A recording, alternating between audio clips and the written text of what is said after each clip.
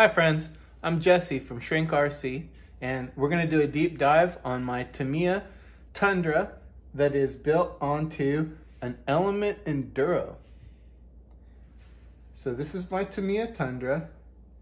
One of the things that is unique about the Tamiya Tundra and the Tamiya F350 is that even though they're advertised as 1 10th scale, they're really about 1 12th scale, so they're a little bit smaller. What I mean by that is if you look at, uh, I, I don't want to roll this back and knock that off of there, but if you look at this F350 and this Chevy here, you'll see how small the F350 looks compared to the Chevy, and that's because this Chevy body is around one to nine and a half, and this Ford body is around 1 to 12. And same thing with this Tundra. I'm pointing that out because with the Tundra especially, it comes with really, really small fender wells.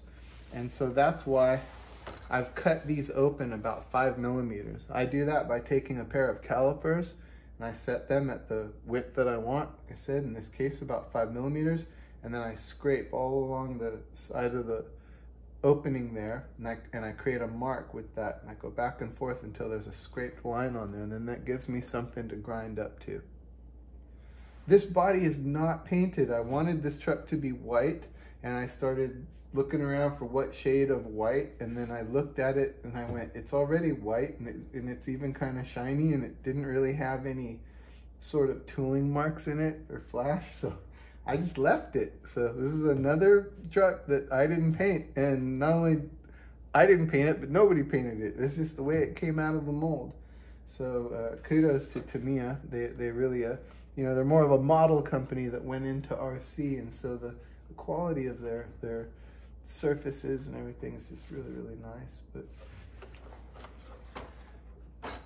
here I painted the grill black inside of here.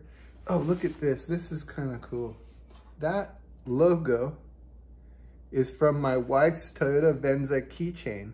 It was the exact perfect size to fit on there. Now, I found out later that you don't have to destroy your wife's Toyota Venza keychain because you can order spare Toyota keys on eBay and they're not very expensive and they have that little chrome piece on them and I even have a spare sitting in a box for when I need it. This uh, bumper is from an uh, Axial SCX102, I think. And then I, I cut a piece of a, of a bar off of another bumper because this one didn't have it and I wanted a bar like this on there. See, I cut it off of another bar and then I screwed it on with some tiny little screws. So that's actually a two-piece bumper that I fabricated even though it's plastic. These you'll recognize if you're familiar with the Tamiya Tundra full RC, these are the lights that normally would come up back here behind the roof. And I just uh, screwed some holes in there and mounted them up on there, gave it, gave it that look. You'll see the wheels and tires on here are really small and that's because the, the truck is really small. It's, a, it's a, only a 12 scale. So I put some 1.55 wheels on it with these uh, tires that are, I don't have my glasses on, but I think these are 3.75 and they're a pretty small tire, but for this scale, they're actually pretty big. So um, this back bumper is a, is a part that RC four-wheel drive sells and I can't remember what it's called, like the Tough Series or something like that. But that bumper is meant for a Toyota Tacoma and it, it's really a pretty good fit on there. I had to make my own little mount for it. I designed and printed my own little drop mount for it to get it in the sweet spot where I wanted it there. But I'm sure that uh, something is available aftermarket that, that, that hits that spot. But I just, I made this piece up because I had the time at, at the time. These wheels are from RC, uh, I'm sorry, these wheels are from Gearhead and they are they're their uh, 12 hole classic bead lock, 1.55. And they're a pretty cool wheel. You can't adjust the offset on them, and that's where they can get tricky. But they, they fit on here. You'll see this has the independent front suspension. Now, these days, Element sells RCs with an independent front suspension. and uh, and it is this independent front suspension. But that's not how this got the suspension. Originally, they sold that uh, this as a kit, and you would start off with a solid axle and you'd swap it. Now it's kind of funny because in the real world, a lot of people would would often uh, actually swap a independent front suspension for a solid axle. But in this case, it's going for sort of a realistic look and a different driving experience. And so at any rate, and they don't even make that kit anymore. I digress. But this, this kit uh, is essentially what is now uh, on a Knightrunner, for example. So if you buy an Element Knightrunner, you would have something similar as a starting point for this. This is actually from the kit. Here I cut down that that front skid a little bit. It's a really tall skid on the factory one, but because of how I've got the body and everything positioned, I wound up cutting that down. Here's our body mounts. I sometimes forget to, to show those, but here's our body mounts on here. I drilled some holes in those two some point for something. But let's take the body off. It's just some tchotchkes on the roof, some rolled up piece of cloth, and that's a dog bag some sticks. This is a little little blanket. Let's take the body off.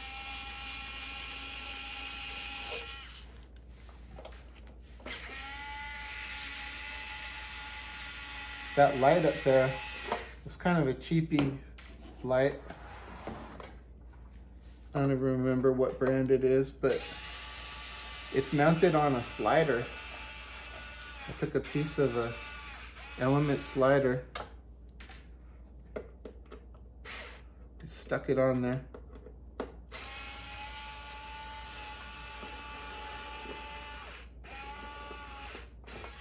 All right, let's look at the good stuff. This motor is actually pretty recent. This is one of those uh, Outrunners, the stubby Outrunner. Look how tiny and light that is. Little 2200 kV. That, that thing is pretty powerful and it also scoots. And then with the independent front suspension, this truck's actually kind of quick and nimble. And uh, it, it, it's interesting. I, I haven't had it on the rocks since putting this on there, but it had really, really good low speed control. And it was also uh, fast when I you know, just ran it around in the yard. And I, normally when you take a crawler, you know, if, if, if you've got locked diffs front and rear and solid axles and you, you start trying to spin around, it, it, they have a tendency to flip. But this thing was, was remarkably stable. You can see I made my own little uh, front shock towers out of some aluminum, some eighth inch thick aluminum that I cut with a hacksaw, drilled with a eighth inch drill bit. You know, marked it all out first. Here's our body mounts from above. You can see how there's room to tape a speed controller or a radio on there. In this case, I put the speed controller up here. There's a nice little platform when you do the IFS. It's one of those copperheads. It's been, it, it's great, runs great. I like it.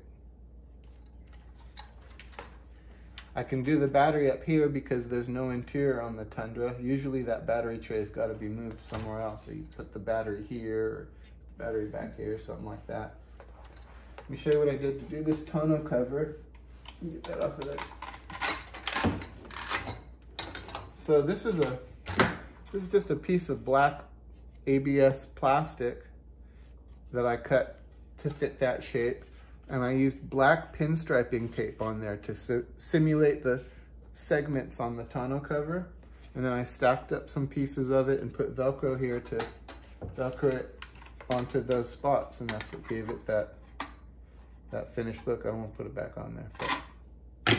And then underneath all of this, I don't want to take that all apart, but you can see our body mounts back there to support the bed separately from the cab. I actually drilled a hole in our front bed mount up here and I bolted the front shock right to it. I don't know if I'd go go real hard with it while it was like that, but it, it seems like it's gonna hold up. I put a washer on it and a nut and I didn't over tighten it.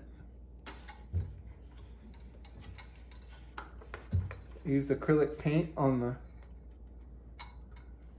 lights, on the uh, signals. It's about everything on this truck. It's funny because I've been crawling for about 10 years and Shrink RC started about three years ago. And when Shrink RC started, this was one of the newest things around. And boy, has a lot changed in a few years. This is now one of the older chassis in my fleet, and there's a whole bunch of crazy new stuff happening, and I'll do some videos about that too. Thanks for watching. Peace.